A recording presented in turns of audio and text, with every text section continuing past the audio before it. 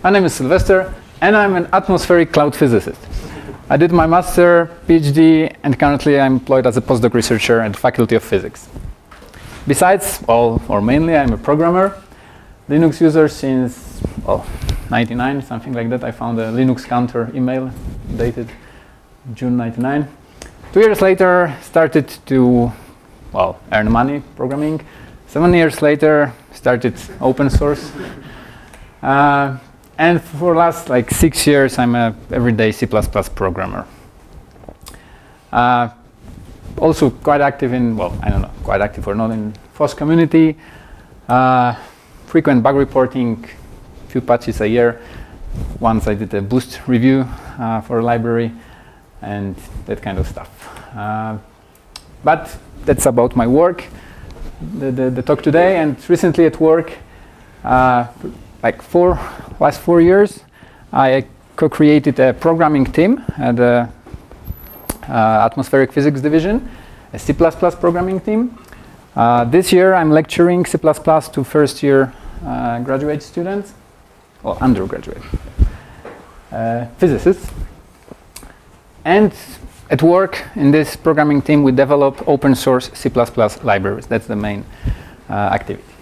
Okay, so uh, that will be a bit of a repeat from the last talk. Uh, uh great talk, let me add to it. So what does atmospheric cloud physicists do with programming? So uh, there are some problems to solve, and it's a kind of a toy sketch of a uh, typical problem to solve. You can imagine it's a weather map, but you can think of it in any scale. I mean, it can be a single cloud or weather in this room or weather in Europe, global. Basically, there are some grids and some properties of the, of the air and uh, the atmosphere. And what we need to solve is mainly the time evolution of the state of the system. And it consists of two main parts. One is uh, hydrodynamics, that's the transport of air.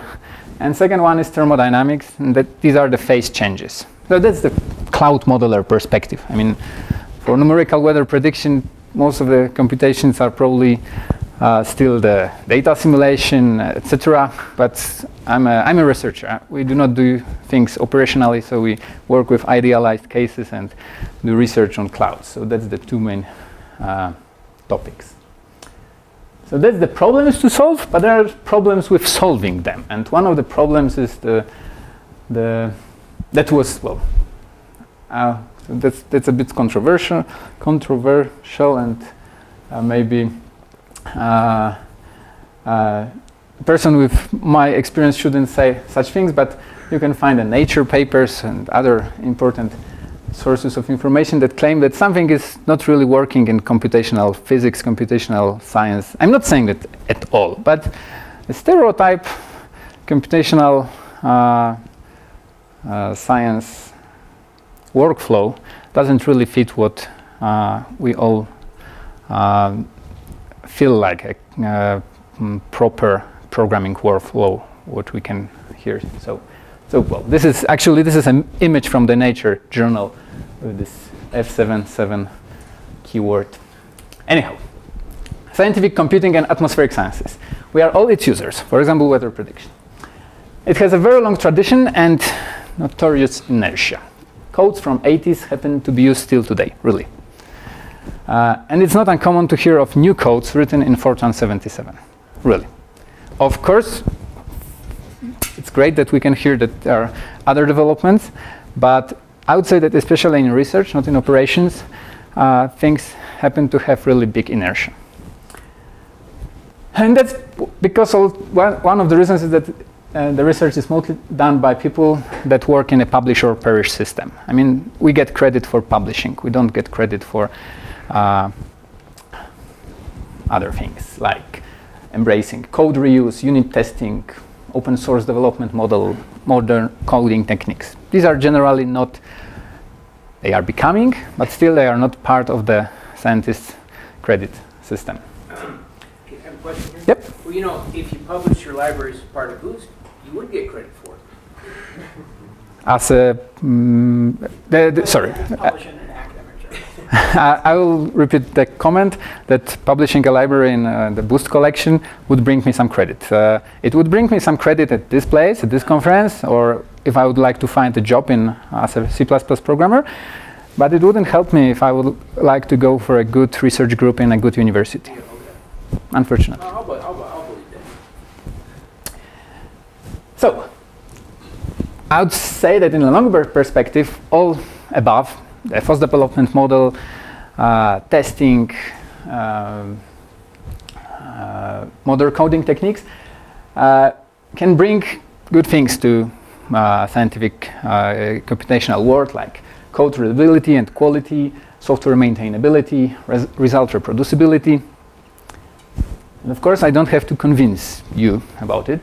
The point is that in our group we have convinced a funding agency and we got a budget for a three-year-long software development project that even has object orientation in the title. And it was funded as a project in physics uh, by Polish National uh, Science Center. Uh, the budget is one quarter million euro, so something for a team of programmers with no need to buy equipment, just for uh, paying the uh, people and well, attending conferences like today. And in this project, it's, it's, based in Warsaw, the Faculty of Physics, but we collaborate with ECMWF and with NCAR at Boulder here in Colorado. So this talk will be about the first results, first software release, and that is uh, that is an outcome of this project that is still ongoing. Let me acknowledge that, uh, well, I'm, I'll talk about what all those people did. So it's, uh, we have a group in Warsaw, uh, both here. Uh, for here are only C++ programmers. For the last three years, we are doing C++ coding, and we collaborate with uh, guys at Boulder and with uh, Professor Smolarkiewicz at Reading and the ECMWF Center. So, before I begin uh, describing the, the, the, libraries we developed, I'll try to spend some time, maybe too much, but maybe it's more important, uh, just to explain what kind of coding we are doing and what kind of problems, how the problems I mentioned look uh, from a coding perspective. So let me try to, hope I will make it in 10 minutes, uh, show a kind of 50 line hello world for cloud modeling. So I mentioned this picture, that's the conceptual problem, and I will just shrink it to a even more simple problem that is the transport of air. So we need to solve equations, partial differential equations for transport of fluid in the atmosphere. If the cloud is there, in one hour is there. And that's, we call th these problems advection dominated problems because advection in atmosphere is really the advection that is transport synonym. It's, uh, it's important. Okay, so I already mentioned that usually we need to have a grid. Well, always we need to have a grid. Sometimes it's not physical uh, in physical dimensions, but still there is a grid. So we need to express a grid uh, in a program. So uh, this will be this 50 lines hello world. I know that hello world programs do not have 50 lines, but still for cloud modeling, I need I realized I need 50 lines to show a quick example. So starting here in the left column, you can see that we work with blitz arrays. Uh, I will try to come back to it at the end of the talk to discuss why and uh, maybe ask you uh, why not. Uh, but anyhow, we decided to use Blitz arrays four years ago, and we, had, we had to decide something. Blitz arrays are, Blitz is a library that is intended for, it simply provides array containers in C++. So here, uh, I declare my problem to be two-dimensional, but in atmospheric physics we do zero-dimensional, one-dimensional, two-dimensional, three-dimensional. If you include time and some other things we go further. And we need a library that supports arrays in that number of dimensions. So we need multi-dimensional array containers in C++. Uh, this next line is just, the next two lines are just a shortcut notation to have, not to write blitz range. Blitz range is a index, part slice of an, well, a way to describe slice, slice of an array. And blitz array is the container instead of vector and array. We use doubles and we use two dimension. Okay, so then basically any simulation, well, a typical simulation program in cloud modeling, atmospheric modeling would have a something, well, would start with an initial condition that's here, 63, 68 lines. So the psi is an array, blitz array. And first I set all values to zero, and then I put at point 1, 1 a value of 1. It's not Fortran indexing. I use 1, 1 to depict this cloud because I need also a halo region. So I need a buffer around the domain to handle boundary conditions. But, well, anyhow, just to mention that uh, these ones are not from coming from Fortran. And, well, then I print the output from this program. And as of now, this program just uh, allocates memory for this array and prints the initial condition. So we have a grid and we have one here. So let's call it one gram of water or presence of cloud, etc. And now what we want to solve is the time evolution of it. Of it. So to, to do it, we need a loop. So here, line 40 is a time stepping loop. There's three iterations. We will see what is the next step, stage. And in every single time step, we do something with this psi. We compute the evolution based on the current state. Uh, here I use a temporary array to store the output. Uh, then we say that the previous time step, that the next time step becomes the previous time step, and we go forward, simulation. So this is the cycle arrays from the Blitz API, and we output uh, the state every time step. And the result is like that. So we just added the zeros to the array. So the time stepping resulted just in repeating the values, but still you can see that we see our simulation going in time. So let's say uh, we had a cloud here, we have a cloud here, cloud here, cloud here, and now what we want to do is to add time evolution to it. So we will know how the cloud moves in the atmosphere. So first, here, line 31, I need to specify how this cloud moves in the atmosphere. I need wind. So I specify a vector. By vector, I'm mathematically vector. Well, two uh, values that say that this cloud will move half a grid point in x direction, have a grid point in y direction every time step. And what I've added as well is the term here. So this uh, expression of the trans partial differential equation for transport. Here it has two terms, the contribution from transport in x direction and y direction. So first let's start with x direction. And we'll have a function that will define what is this change due to transport. And it will, it will need to know what is the psi, the current state. It will need to know what's the wind. And indices to, well, just to know what's the extent of the domain. Okay, so this is the x term. And how it can be defined? It's here. Uh, basically, it's a function uh, that takes the array as argument, as can be seen here, and returns also something that mathematically we can think of as an array. It will not be an array in a programming sense, but it returns something that represents the uh, values uh, on a grid. It will not be an array because it will not be evaluated at the time. It will be lazy evaluated. So just return an expression, a recipe of what I will do, but there is no computation coming on in, at this point.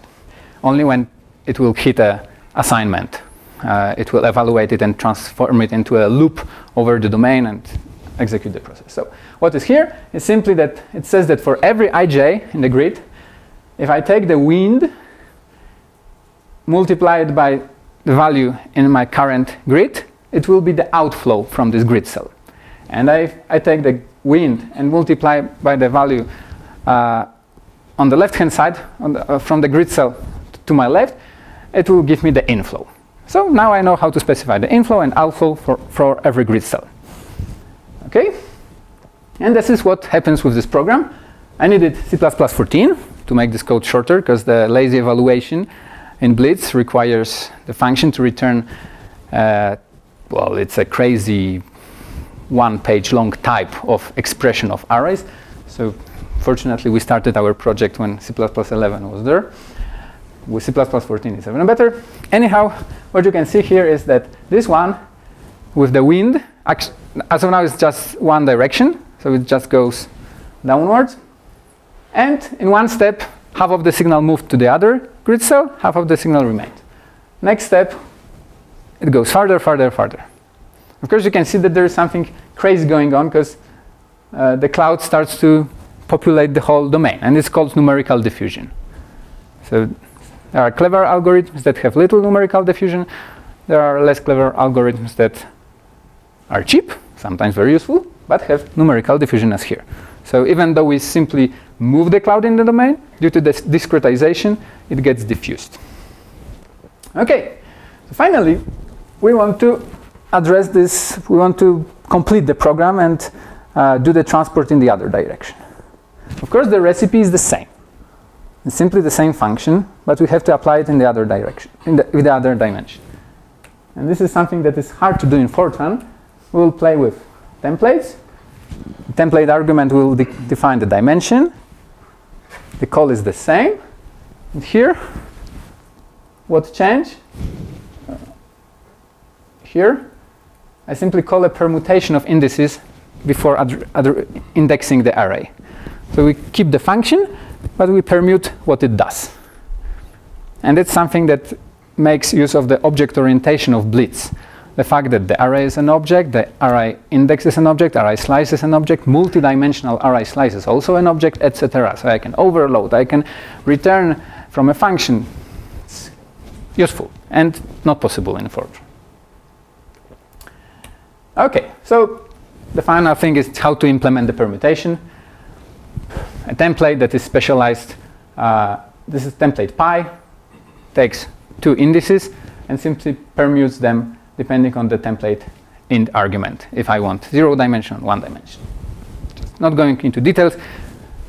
The whole program is here, the output is here, the cloud moves following a dia di diagonal. Okay?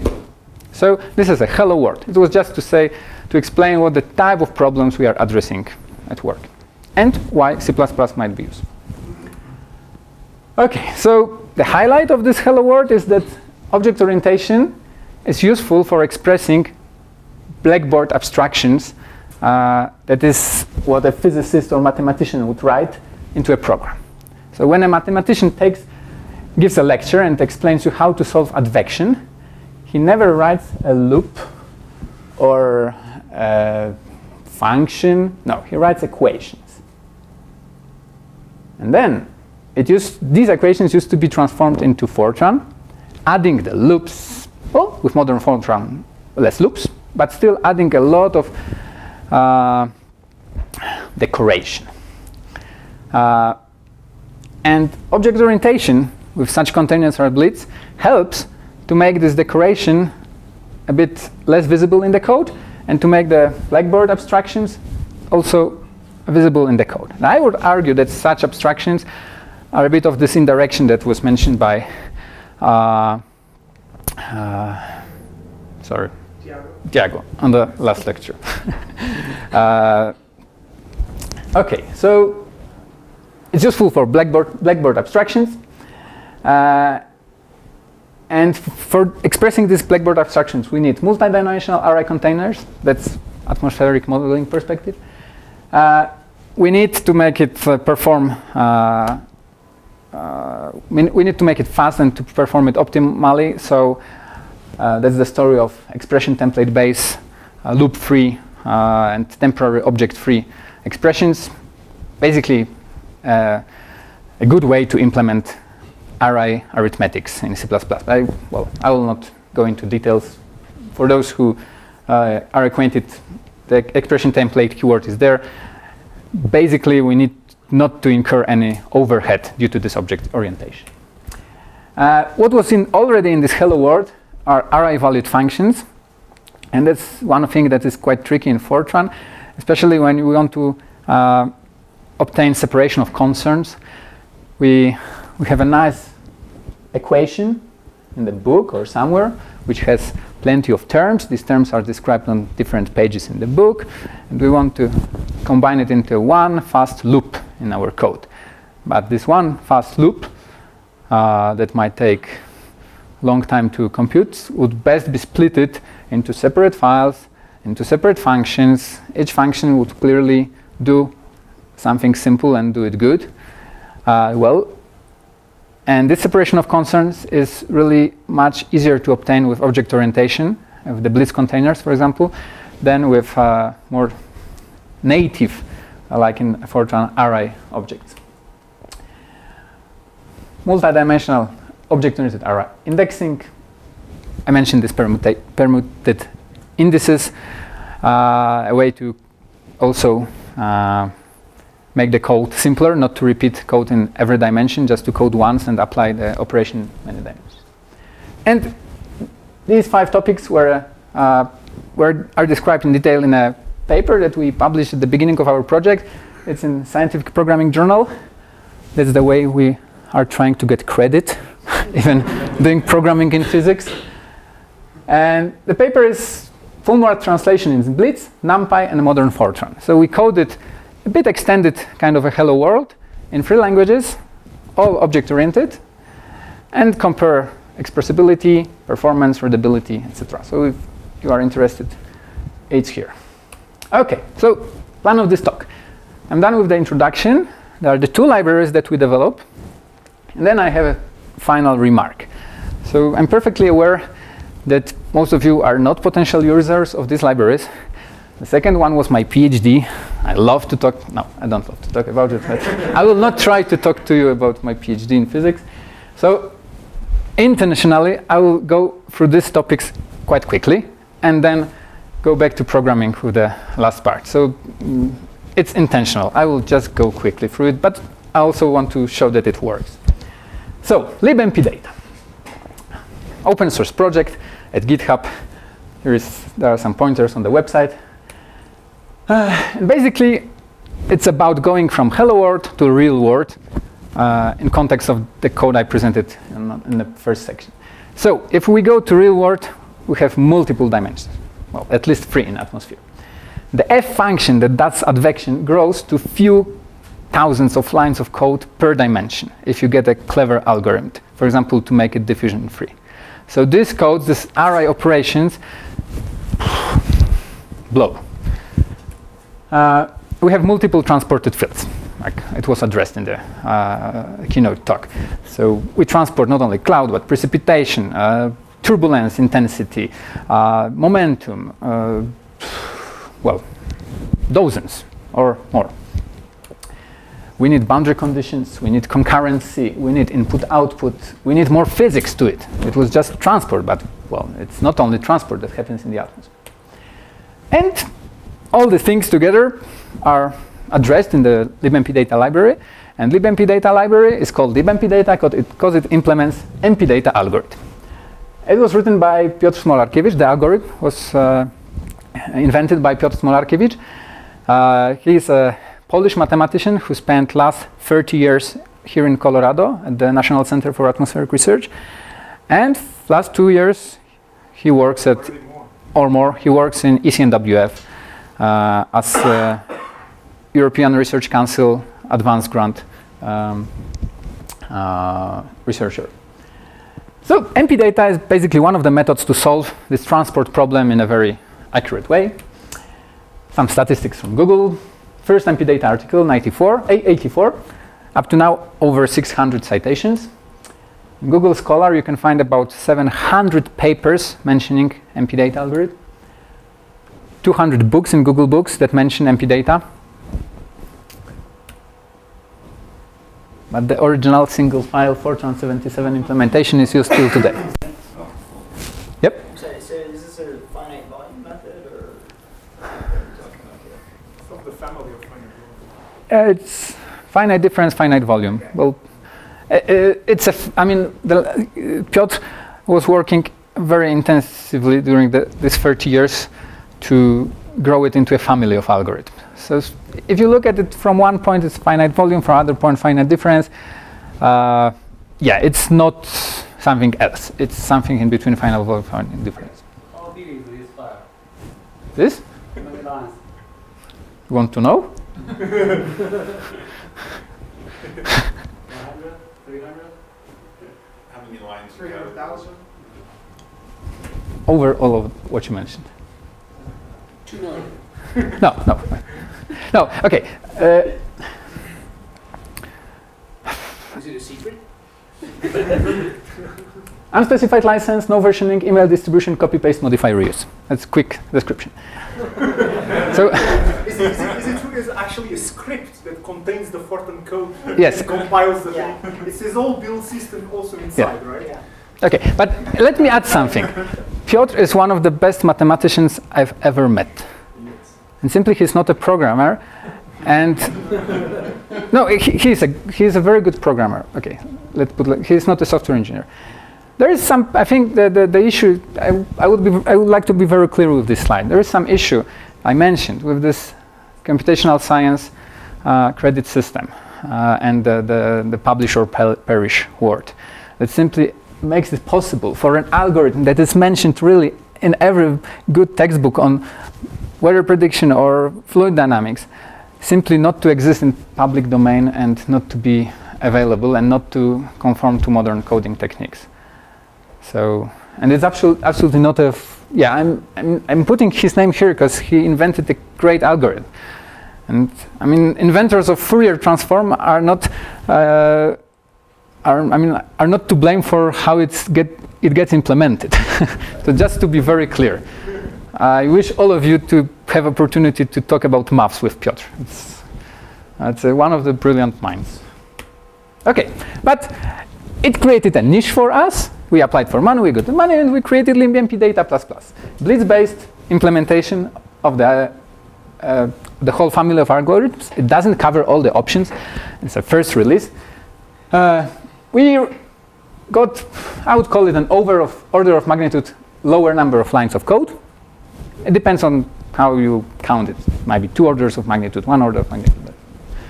Good. I mean, only the permutation stuff that cuts the two dimensions out of the code just gives you uh, a great shortening. Comparable performance and major improvement in reusability and maintainability. Okay, very quick slide about the design choices. GPL at GitHub. Uh, the library is composed of several layers. There are solvers, different to choose. Boundary conditions, different to choose. Output handlers, HDF5 binary format, HDF5 with XML annotations, or something for the purpose of well, lectures, uh, interaction with students, or paper quick demos. It's GNU-plot output. So the library is able to just show you the result uh, without any intermediate storage. Concurrency handler, up, up to now we only use uh, shared memory, but the design does not block uh, going into this distributed memory. And we have options to use OpenMP, Boost Thread, or C++11 threads. Dependencies. C++11, Blitz++, Boost. We use PTR containers, timer, thread, preprocessor, file system format, and property tree. CMake and CTest. The API, header-only library, template, template-based component selection. So to compose these components into a simulation instance, we use templates. Uh, we use inheritance for component extensions. So like within solvers, we have a simple solver, more advanced solver, etc., and they build on top of uh, the previous one. It's the same as in the textbook. First chapter gives you just transport, and second chapter gives you transport with sources. So our class for transport with sources inherits from the class that does transport. And the user is exposed to the Blitz API. So we do not hide it. It's, it's built on top of Blitz, and the user has to use Blitz to communicate with the library. Okay. Yep. Uh, another hello world. Another hello world that doesn't have three lines, it's a bit longer. So I will not go into the details of the code, just to say that this is a this GNU-plot output hello world from the library. The signal in the domain, one-dimensional signal gets advected in time.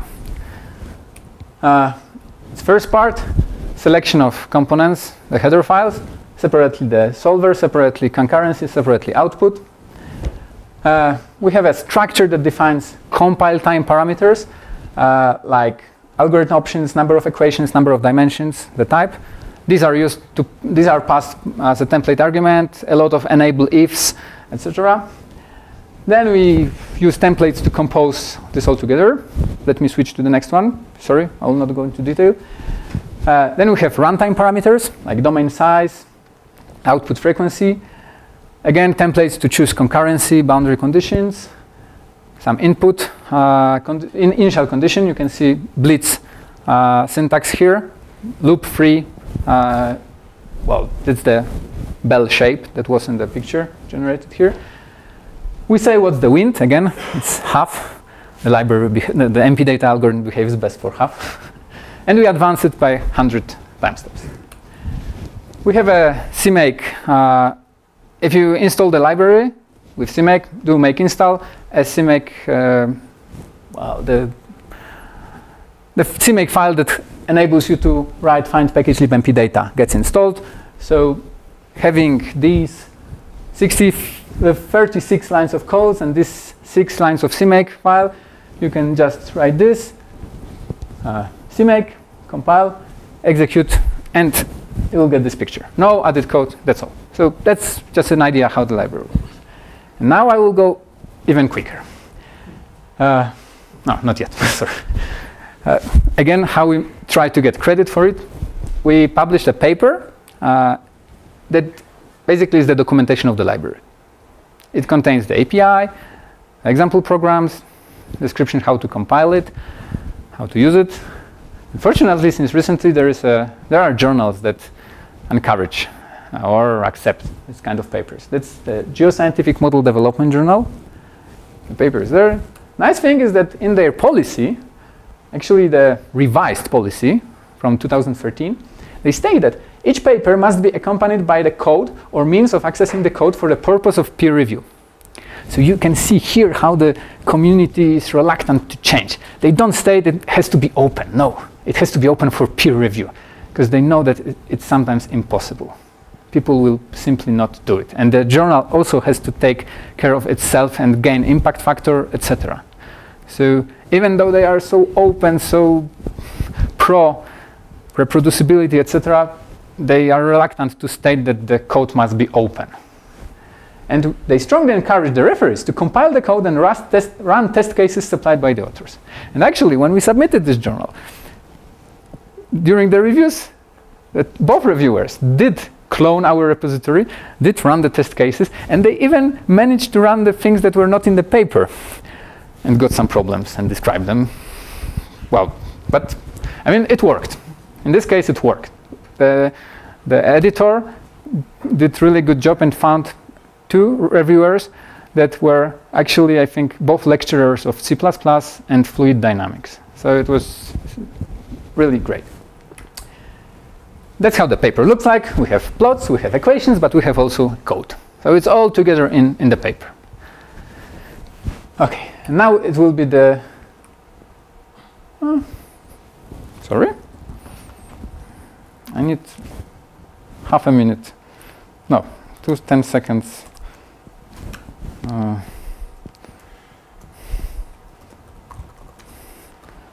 mm, very sorry.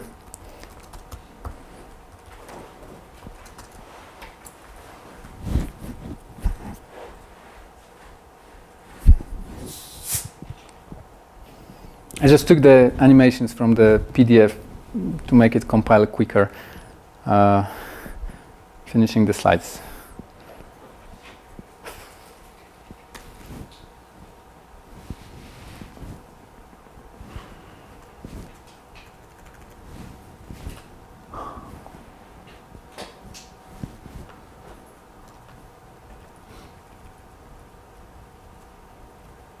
Okay, very sorry. So, I mentioned that we use inheritance for uh, extension of components. So basically, this is the transport equation. And we can plug some input data and parameters to make the kind of simulations here. It's a sphere and some signal advected over a sphere. This simulation is 100 lines of code with libmpdata. And there's a, you can click here and get to the code at the GitHub repository. When we extend it to uh, advection equation with source terms, with prognosed velocity, with pressure solver, and we plug user code there, we can get simulation of warm bubble in the air. So yeah. just to say, show that it works. And this is 200 lines of code with the library. The code is there. Then we can do some uh, 3D stuff with shallow water equations. Just going very quickly just to show the pictures. And here to show also that this result actually uh, got published last month in Journal of Computational Physics. And it already uses the library. Uh, it's a paper on analytical solution of this shallow water equations, but it uses the library to test how the analytical solution compares with numerical. Uh, 100 lines of code. Then we can do some funny stuff with turbulence. Funny stuff with turbulence in larger domains.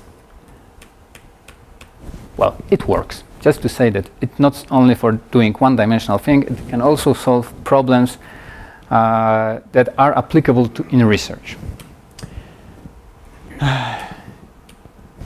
okay, so next thing is the second library, Cloud Physics Library, my PhD. It's for modeling what happens in clouds, how the droplets form, what's happening in the clouds, how they precipitate, etc. We use the technique called particle-based simulations. We have a domain. We put some particles in it, we call them droplets. So we assign some radius to it, the same radius as a rain particle has when it hits your windshield. That's this radius. We think of what's inside the particle. For due to limited computational resources, we say that each particle in the simulation represents 10 to the 10th real particles. Uh, I'll come back to it. And when we plug this library to the libmpdata it solves transport, this is an example domain with a kind of a eddy in the atmosphere, and we combine this transport with representation of clouds, we get some this kind of pictures. X direction, Y direction, just two-dimensional slab of an atmosphere, stratocumulus cloud, and then we switch rain. Well, we switch collisions between particles. We don't say it's rain. And you can see here that rain forms and falls. Yeah, so also some research done with the libraries. Now I will come back to programming. This first part is spin-up. The, the, the model has to adjust the solution to the equations. So the, the, uh, the picture I've shown was generated with something that we call cloud reactor. It depends, it's dependent on the two libraries, transport equations, phase changes. For the phase changes, we use the Thrust library to code our algorithm in, the, uh, in a way that it can be compiled on CPU or GPU. So we have one C++ code, and we can combine it, compile it for both. We use boost units to assign physical units to all quantities in the library.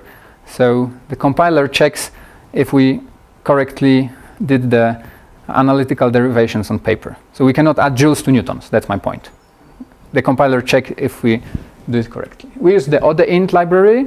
I think that was introduced during last Boost conference here. In libmpdata, we have this. Uh, also, we include Boost dependencies. And finally, the program uses Boost program options and Spirit to parse input. So we use Boost. I'll go through it again. Just cloud, some rain. Also published in GMD not yet, uh, well, it's accepted, but not yet in a final form. So this is a type of, um, this is how it looks during peer review. Also in the paper, we have details about the API. Here is a, a sequence diagram, how to call the library, etc. We also implemented Python bindings for the library uh, using Boost Python.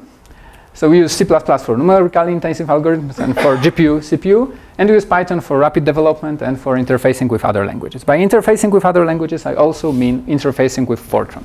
We had this crazy idea to, we needed to use some Fortran codes, and we had a crazy idea to run everything from Python, load the Fortran code as a shared library, load C++ code as a shared li library, have a common addressing space, throw around function pointers, and play with calling C++ from Fortran via Python using CFFI and Boost Python. Just to say that we did. Okay, yep. I have a question regarding, you have a, is this a header-only library? No, th this one is Oh, not. This one is not. Due the, the transport equation library is header only. This one has three components, like three distinct ways of representing clouds. Two of them are header only, but the third one uses GPU, and uh, then it's, uh, it ships with a set of headers and shared object file that that enables you to switch GPU CPU OpenMP serial at runtime. So we compile all versions into the shared library.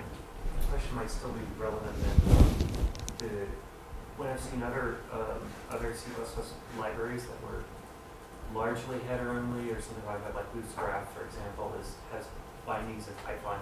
And, and basically, sort of like, they basically had to make some choices for the template parameters.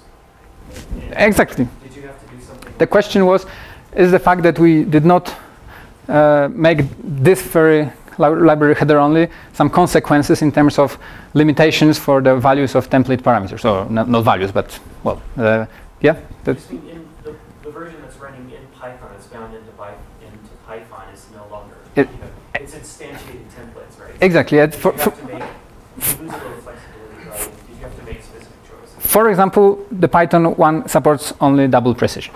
It's an example. So we, yeah, yes, we did have to do it this way.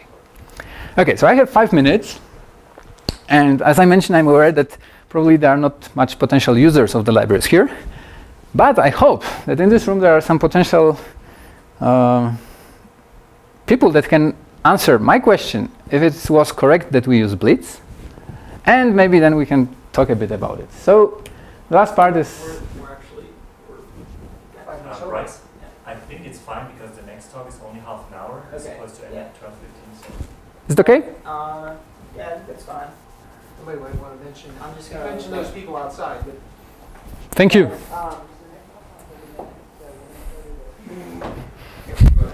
Yeah, so the final part is uh, just a remark about n-dimensional array containers in C++.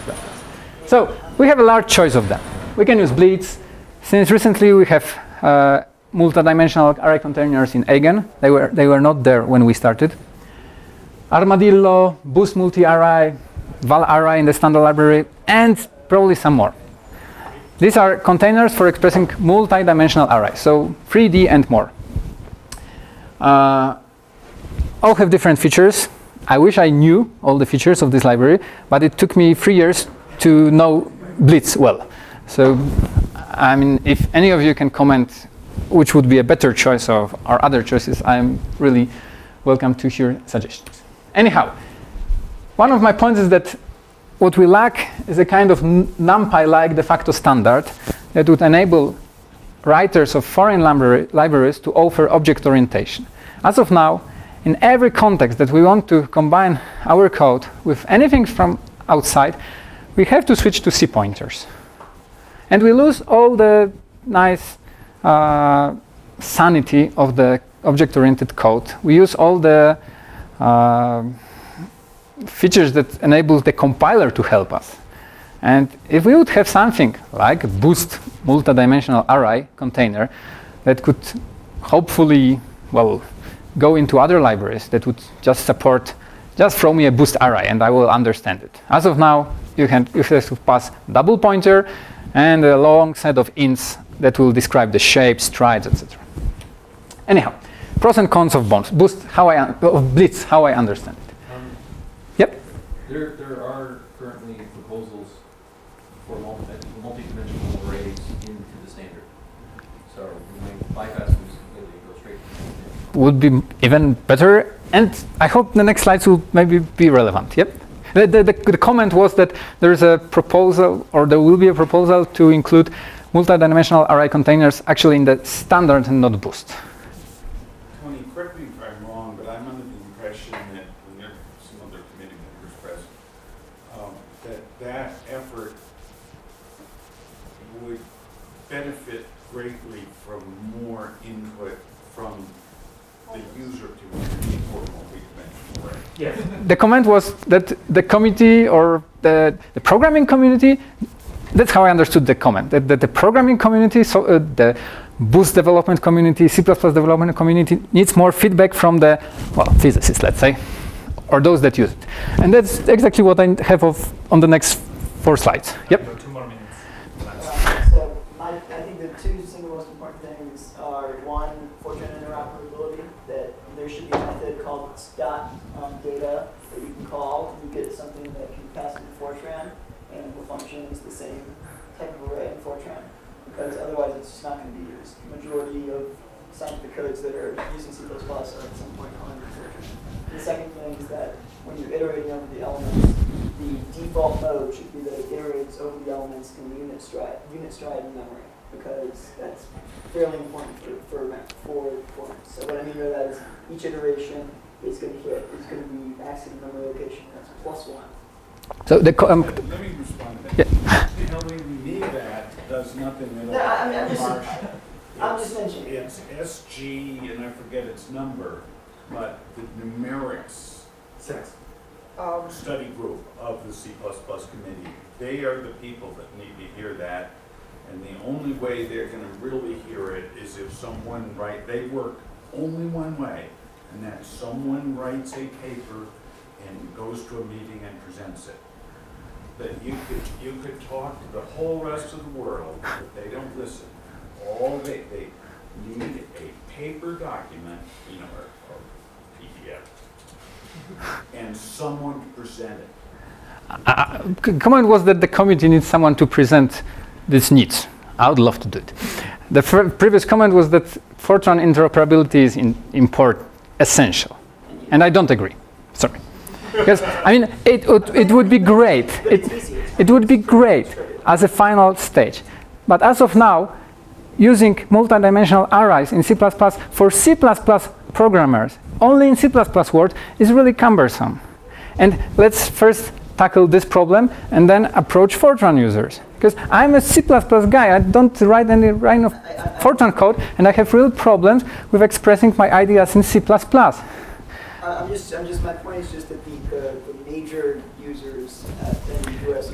Let's go on. Yeah, yeah. Okay. Let's finish the talk. Yeah, so uh, Talk to Marshall though. I will do this slide quickly, and next slide I will skip kind of intentionally, but the next five slides have five short hello world codes that show the features of Blitz that we think are essential for good array containers. So any, anyone is interested, you can just go to the slides and see these short programs uh, for several features that we find essential, and I I think that not of, all of them are replicated in other libraries.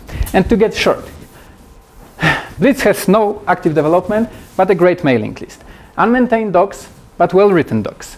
Not part of Boost, which is a problem when we ship the code, but it has built-in support for Boost MPI and Boost Serialize. Uh, it has SIM support, but only for ICC, but it has SIM support. Uh, template multi-screen error messages, but very convenient debug mode. No library for binary I.O., but built-in IOStream compatibility. Uh, unfortunately, it has partly preprocessor-based API, uh, but it has a very well-suited API for computational physics. As Fortran, it was written for computational physicists. And my understanding, my impression is that other uh, array container libraries in C++ were not really written with computational physicists in mind. And that's why we have some problems. Okay, as I mentioned, here are some example programs for index arithmetics, for indexing with single object, for tensor notation, for array-valued functions, for elemental functions, for ternary operators and reductions, and that's it. If anyone is interested, just there are these examples programs in my slide. I, I didn't want to explain them all. I just wanted to say that there are some people that still use Blitz. It's all library I maintain, but it's hard to find these features elsewhere. Last slide. My message. C++ does constitute a viable alternative to Fortran for maintainable code and reproducible results in cloud modeling. Well, I know I don't have to convince you, but I somehow managed to convince my coworkers. Multidimensional C++ array containers. Question to you, is there any alternative to Blitz? Does Boost provide it? Should Boost provide it? And message, Blitz needs new features and maintenance. Maybe some of you can help. Acknowledge the funding, Polish National Science Center, Polish Ministry of Science. Thank you for your attention, and I will take the freedom just to say that my wife and son decided to move to Toulouse, and I'm looking for a C++ programmer job in Toulouse.